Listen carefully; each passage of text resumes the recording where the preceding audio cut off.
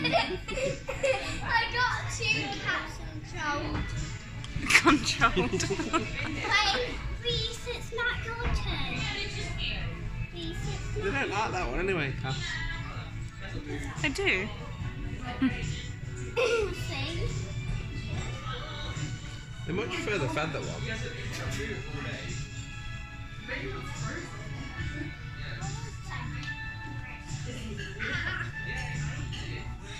Oh, okay.